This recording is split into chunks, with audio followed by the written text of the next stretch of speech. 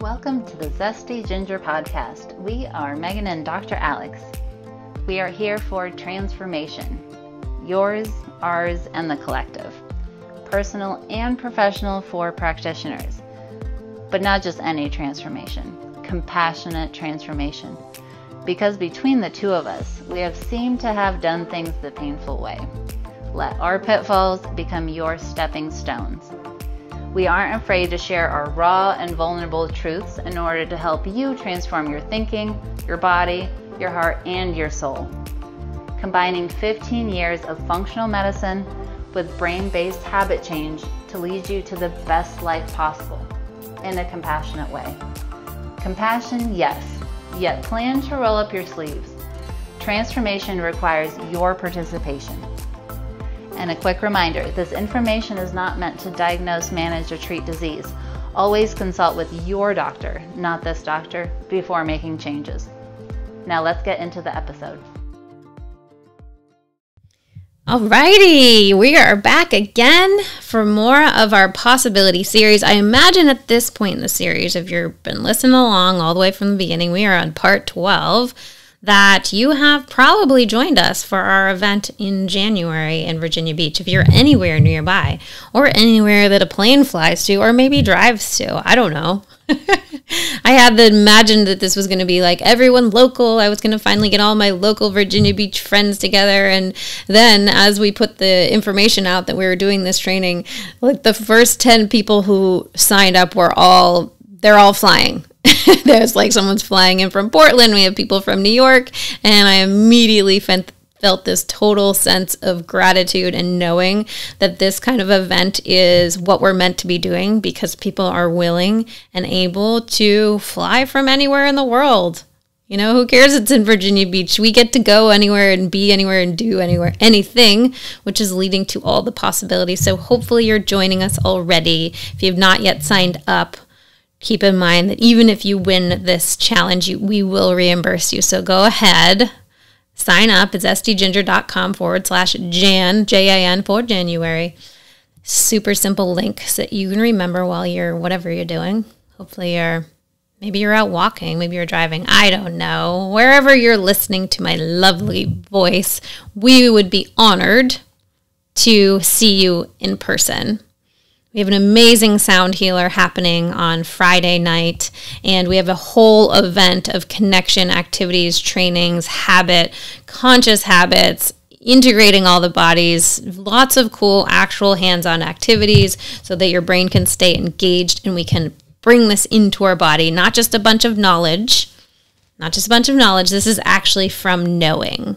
This is actually from integrating and implementing this in our own lives. So, this is not just something that you read in a book. This is things that have worked and they work well. And we repeat them not just with ourselves, with other people all the time. Cool? Cool. Today is going to be the shortest episode in the world because today is about the power of quiet time. Y'all heard that saying when people are like, well, don't just sit there, do something? when I heard that, I, at this point, was really into my meditation practice. And I was like, well, what if we made it just don't just do something, sit there? That's cool, right? A little bit of the opposite. Because have you ever hurried through something and then created like 10 times the work for yourself? This used to happen to us every single time. For those of you who've been around and you've come to Dr. Alex and I when we do our four day habit challenges and we're doing them live, we're next to each other. We have we have microphones on, we have cameras set up, right? So there's a little technology involved. And every time, because I would be in charge of like starting the video and linking up the thing with the Facebook and the Zoom and all that. And because it's not exactly my forte, of course, I've learned tons of it. I don't consider myself to be a tech- technical genius, although now, of course, I am every time I would get nervous, right? I'd go into this fight or flight mode of like, oh my gosh, what if I do something weird and push something weird? So then I would start clicking things ahead of time to prepare for the weird thing that I might do. And in the process, every single time from that state of stress, I would actually create a bigger problem than we even could have potentially had. We probably had zero problem coming. I would, I have done the weirdest things of like completely deleting Zoom or completely deleting our PowerPoint, our presentation, right? Because I'm in that state of stress. So, if you've done that before where you're like, if I had just sat for literally like 30 seconds and thought about this versus like immediate, maybe it's social media or maybe it's responding to a text you know how we think that people we think that other people think that we need to respond immediately? Well we don't. And actually it's fabulous to start to train people that you you won't and that um, that is not how you operate. And give them a good window. Maybe within three days i respond to texts.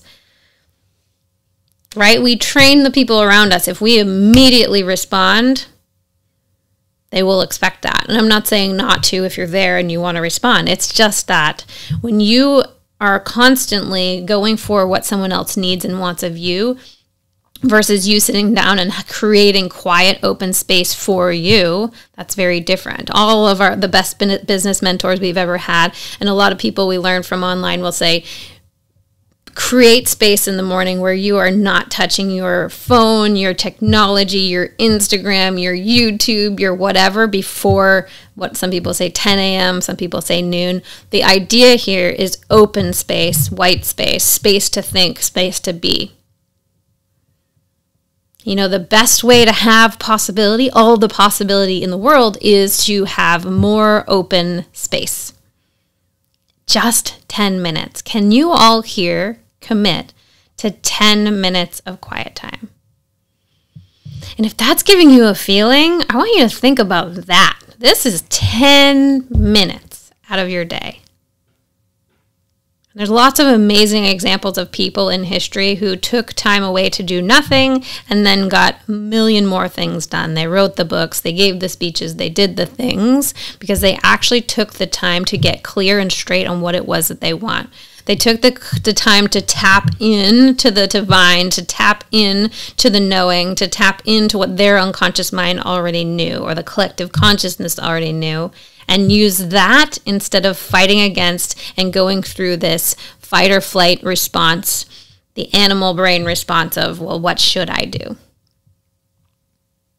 What I wanted to do was leave 10 minutes in the space in the middle of this podcast and really just force you all to sit here for 10 minutes. And then I realize there's a good chance you will just hit pause because who knows what you're doing. So instead, I'm going to ask you all to commit. And can you say out loud, Yes, Megan, I will do 10 minutes. Yes, Megan, I will do 10 minutes every day.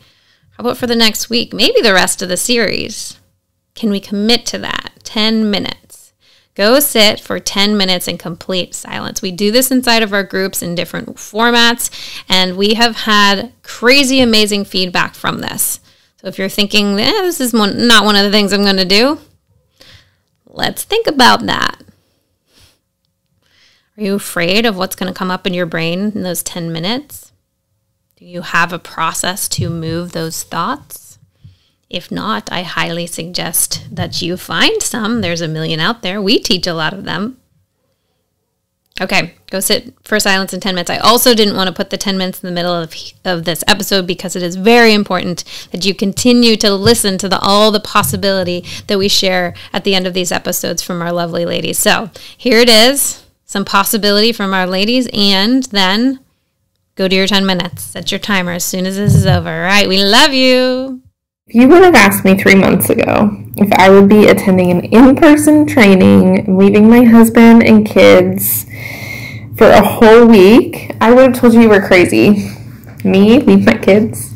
It hadn't happened in eight years, so why would it happen now? Just the thought of leaving my family by myself and for myself brought up really intense emotions and thoughts, ranging from that would be selfish, it's your job to take care of them, to thinking that if I leave, something tragic is going to happen. I believed it 100%, even though I didn't exactly know where those thoughts were coming from.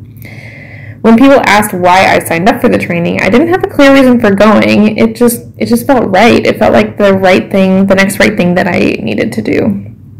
I mean, I hoped that it would help me as a mom, and I, I trusted that it would prove useful in my business.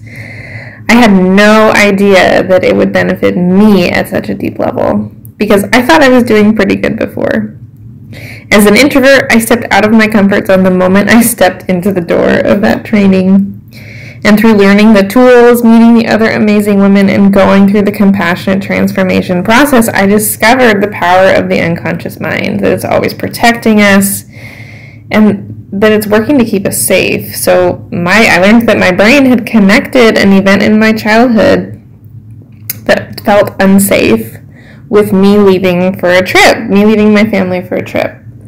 So it made sense. That's why I was having such strong emotions. My brain was trying to keep me safe. Now that I'm back home and I've learned these tools and skills, I've been able to use them with my kids. I've completely shifted how I work through my emotions and how I guide my kids to do the same. I'm incorporating these tools in my business and I'm sharing my experience and owning my worth and value. I've learned that we all have some sort of trauma and that healing happens in layers. So I'm forever grateful for Megan and Alex to put together such an incredible training experience. But I wouldn't have been able to experience it if I hadn't said yes to myself. So I'm so grateful to have been able to go to this, and I'm so proud of myself for saying yes to me. Thanks for coming out to hang with us on the podcast. It is our goal to transform the way women are treated in healthcare. And we need your help. We need your help to get the word out. We have a lofty goal of 1 million downloads. And we know that as this podcast grows, we're going to be able to reach more women, get more amazing speakers for you, and bring the most cutting edge information. If you found these podclasses helpful, please take a moment to text five women you know the link to the series. We appreciate your help so much. Can't wait to see you next time.